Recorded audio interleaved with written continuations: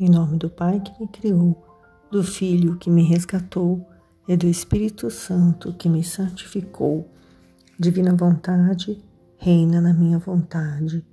Suprema Majestade, eu venho em Sua divina vontade, em nome de todos, do primeiro ao último homem que existirá na terra, para dar a Ti as homenagens que tens direito, as adorações, os louvores, o amor que cada criatura lhe deve, as ações de graça e fazer todas as reparações por todos e por cada pecado.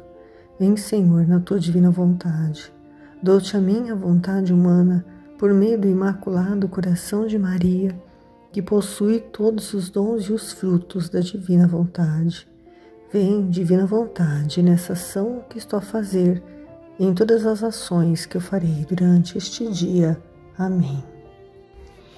Ó Maria, Mãe de Jesus e minha mãe, eu te entrego e te consagro a minha vida como fez teu filho Jesus. Abandono-me ao teu o direito de mãe e ao teu poder de rainha, a sabedoria e ao amor com que Deus a plenificou, renunciando totalmente ao pecado e àquele que o inspira. E te entrego meu ser, minha pessoa e minha vida, especialmente a minha vontade para que tu a tenhas em teu imaculado coração materno e ofereça continuamente ao Senhor, junto com o sacrifício que tu fizeste de ti mesma, de tua vontade. Em troca, ensina-me a fazer como tu, a divina vontade, e a viver nela. Amém. Oração à Rainha Celestial.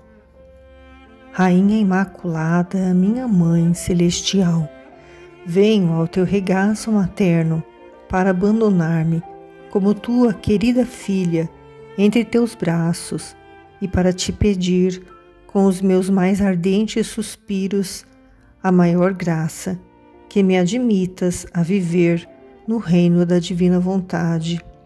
Mãe Santa, tu que és a rainha deste reino, admita-me a viver nele como tua filha, para que já não esteja deserto mas sim povoado por teus filhos. Por isso, soberana Rainha, em ti confio, para que guies meus passos no reino da divina vontade, e agarrada na tua mão materna, guiarás todo o meu ser, para que viva para sempre na divina vontade. Tu serás minha mãe, e como minha mãe, te confio a minha vontade, para que a troques pela vontade divina e assim possa estar segura de não sair de seu reino. Por isso rogo-te que me ilumines para fazer-me compreender o que significa vontade de Deus. Ave Maria, cheia de graça, o Senhor é convosco. Bendita sois vós entre as mulheres, e bendito é o fruto do vosso ventre, Jesus. Santa Maria, Mãe de Deus, rogai por nós, os pecadores, agora e na hora de nossa morte. Amém. Sejam todos bem-vindos à meditação do 16º dia desses 31 dias com Maria.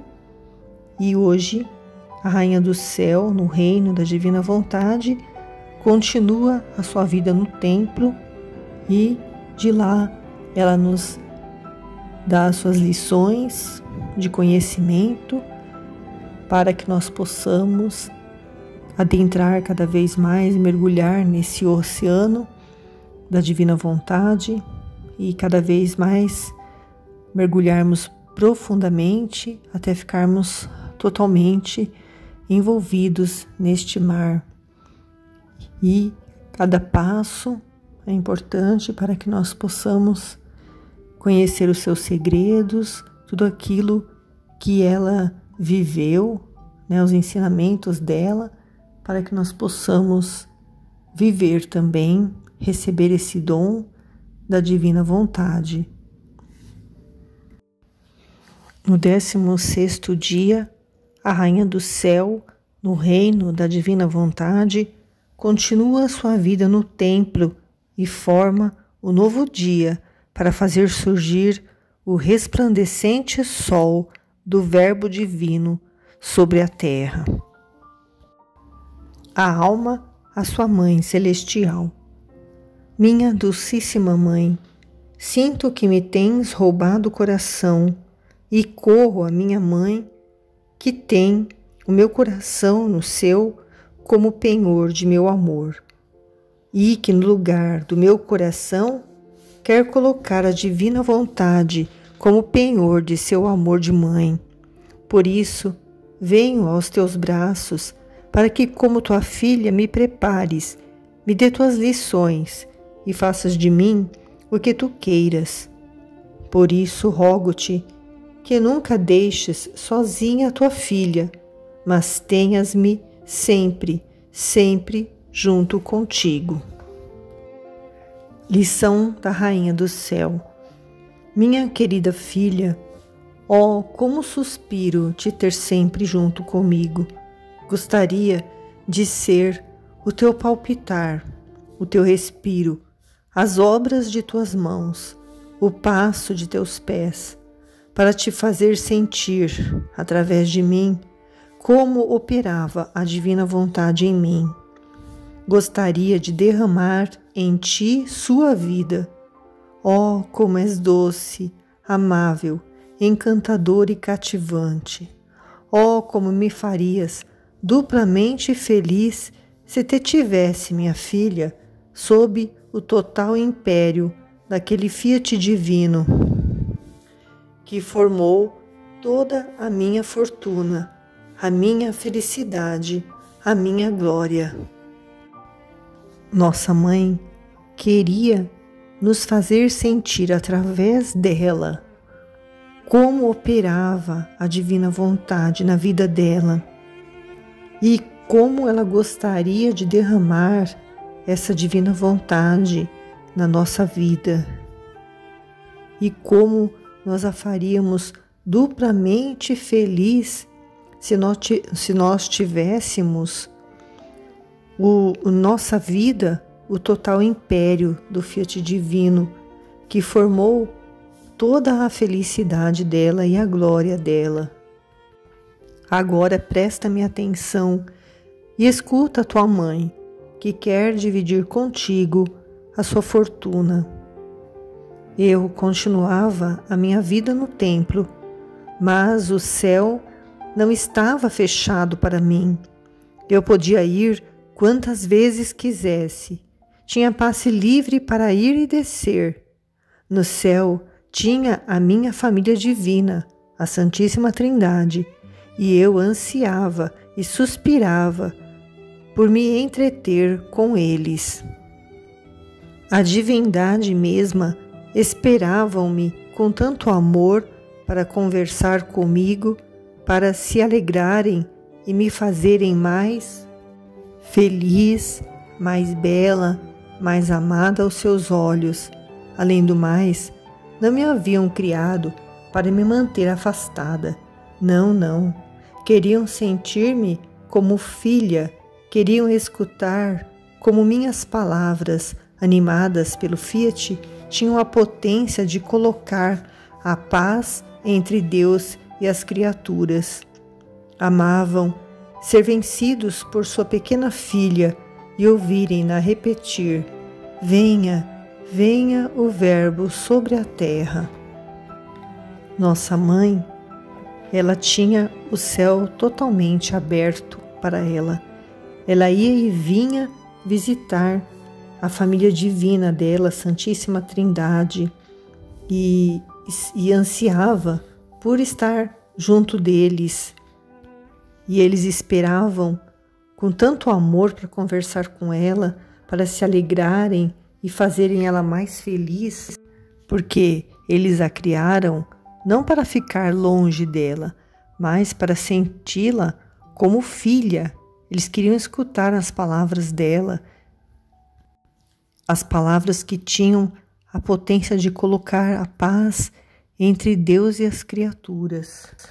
E eles gostavam de ouvir ela dizer, ela dizer, ela chamar para que venha o verbo sobre a terra. Ela ainda não sabia que ela seria aquela que traria o verbo sobre a terra, mas ela já pedia, já, porque ela sabia que haveria um Salvador, e ela já pedia, e esses pedidos dela, né, quando ela estava na terra, continuaram até que conseguiram antecipar a vinda de Jesus para a terra. Posso dizer que a mesma divindade me chamava e eu corria, voava no meio deles. A minha presença, não havendo feito jamais a vontade humana, restituía a eles o amor e a glória da grande obra de toda a criação, e por isso me confiavam o segredo da história do gênero humano, e eu rogava e pedia que se estabelecesse a paz entre Deus e o homem. Nossa mãe, ao receber um chamado, voava no meio deles, porque ela fazia sempre a vontade de Deus e com isso ela restituía, né, devolvia a eles o amor e a glória da grande obra de toda a criação. E ela também rogava e pedia que se estabelecesse a paz entre Deus e o homem. Ela era nossa intercessora, né? Aquela nossa advogada, aquela que, né, é, fazia com essa mediação entre Deus e o homem para que se restabelecesse a paz, né? Que o homem fosse perdoado, que o homem voltasse à ordem, né? Com a divina vontade, voltasse à ordem pela qual ele foi criada. Então, minha filha, tu deves saber que só a vontade humana fecha o céu, e por isso não lhe foi dado penetrar naquelas regiões celestiais, nem ter uma relação familiar com seu Criador, e ainda mais, a vontade humana havia distanciado a criatura daquele que a havia criado. Enquanto o homem se apartou da vontade divina, tornou-se medroso, tímido e perdeu o domínio de si mesmo e de toda a criação. Todos os elementos, por estarem dominados pelo Fiat, ficaram superiores a ele e lhe podiam fazer mal. O homem tinha medo de tudo, e te parece pouco, minha filha, que aquele que havia sido criado rei, dominador de tudo, chegasse a ter medo daquele que o havia criado? É estranho, minha filha, e eu diria que é quase contra a natureza que um filho tenha medo de seu pai, enquanto é natural que, quando se gera, se gera ao mesmo tempo amor e confiança entre pai e filho, e isso se pode chamar a primeira herança que cabe ao filho e o primeiro direito que cabe ao pai, de maneira que Adão, ao fazer sua vontade, perdeu a herança de seu pai, perdeu o seu reino e se tornou o alvo de chacota de todas as coisas criadas. A vontade humana fecha o céu e não permite a relação familiar com seu Criador, porque a vontade humana distancia Criador e criatura e fez com que o homem se tornasse medroso, tímido, perdeu o domínio de si mesmo e de toda a criação, como era antes do pecado original, antes do afastamento né, do Criador e da criatura. Todos os elementos, isto é, todos os seres criados, não só os animais, as plantas, tudo que foi criado por Deus, com exceção do homem, se tornaram superiores a ele, porque tudo isso que eu falei, toda essa criação de Deus continua na vontade divina, enquanto o homem, que havia sido criado rei, dominador de tudo, chegou ao ponto de ter medo de quem o havia criado. E não é natural que um filho tenha medo de seu pai, que quando se gera, se gera ao mesmo tempo amor e confiança entre pai e filho. Né? Nossa mãe nos diz que isso pode se chamar de primeira herança que cabe ao filho, o amor e a confiança do pai. E é também o primeiro direito que cabe ao pai, o direito de amar e confiar no filho. Mas Adão, ao fazer a sua vontade, perdeu essa herança de seu pai, perdeu o amor e a confiança, perdeu o seu reino, o reino da divina vontade, e se tornou alvo de chacotas de todas as coisas criadas, isto é, todas as coisas elas zombam do, do ser humano, do, do homem que está totalmente fora da ordem, totalmente afastado da vontade de Deus e vive a sua própria vontade, que é exatamente o contrário daquilo que Deus quer para ele, que Deus criou, que Deus o formou para poder viver, né, todos sob os, o, o amor, sobre a correspondência de amor entre criador e criatura, entre essa fusão total, né, que a nossa mãe vive e que está agora nos ensinando como era e como é a criatura sem a vontade divina. Minha filha, escuta tua mãe e considera bem o grande mal da vontade humana. Ela tira os olhos da alma e a cega, de forma que tudo são trevas e medo para a pobre criatura. Por isso, põe a mão sobre o teu coração e jura à tua mãe que preferirás morrer a fazer a tua vontade. Eu, não tendo feito jamais minha vontade, não tinha medo do meu Criador, e como poderia ter medo se me amava tanto? E o seu reino se estendia tanto em mim que com os meus atos ia formando o pleno dia para fazer surgir o novo sol do Verbo eterno sobre a terra. E eu, ao ver que se estava formando o dia, assim aumentava as minhas súplicas para obter o suspirado dia da paz entre o céu e a terra. Portanto, amanhã te espero para te narrar outra surpresa de minha vida sobre a terra. A vontade humana tira os olhos da alma a alma fica cega. Tudo são trevas e medo para a pobre criatura. A criatura tem medo do leão, a criatura tem medo de doença, tem medo de morte.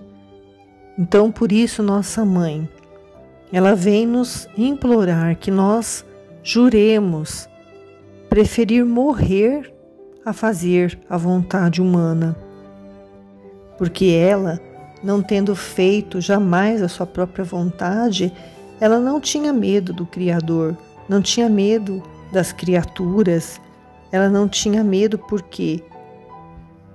Porque ela sabe do amor que há no nosso Criador, quando Ele nos criou, quando Ele nos formou, quando Ele nos pensou, foi um excesso do amor dele que Ele queria transbordar queria transbordar o amor fora de si. Por isso, ele criou o homem para poder desabafar todo esse amor e também receber uma correspondência desse amor, ter esse relacionamento de amor, criador e criatura. O reino se estendia tanto nela que, a, que ela ia formando o pleno dia. O que, que é um pleno dia? Um dia repleto, repleto de luz.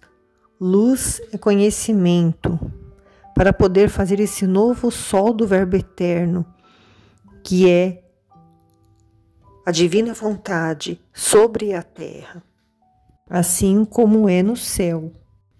E como ela via que estava se formando o dia, quer dizer, a luz plena, né, o conhecimento pleno Assim aumentavam as súplicas dela para obter o suspirado dia da paz entre o céu e a terra. Esse dia da paz vai ser quando o reino da divina vontade foi estabelecido na terra como no céu. E ela suspirava, ela suplicava para que esse dia chegasse. Por isso ela vem nos trazer essas, essas lições, esses conhecimentos para irmos já formando dentro de nós esse reino, para que quando ele for estabelecido na terra, como é no céu, nós já estejamos já formados dentro de nós para depois formarmos outras pessoas, como nossa mãe está nos formando, como Luísa também foi formada. Nós também, filhos da divina vontade, estaremos formando outras pessoas para viverem neste reino na terra e depois no céu por toda a eternidade. Amém. A alma, minha soberana mãe, que doces são tuas lições, ó como me fazem compreender o grande mal da minha vontade humana. Ó quantas vezes também eu sentia em mim medo, timidez e sentia-me distante de meu Criador. Ah, era minha vontade humana que reinava em mim, não a divina. Por isso eu sentia seus tristes efeitos.